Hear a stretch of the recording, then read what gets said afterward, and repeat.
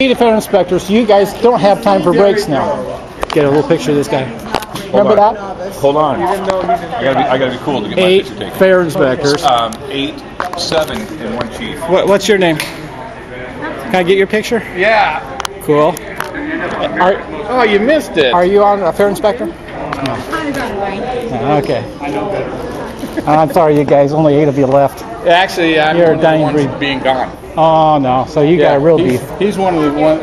He's one of the ones being gone too. Him and I are dead. So what do you do? Go to work for Wackenhut? whacking hut. Hey, Jr. Jr.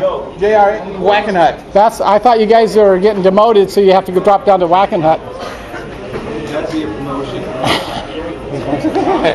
What do you gonna be? Field supervisors now, or what? Sting operators?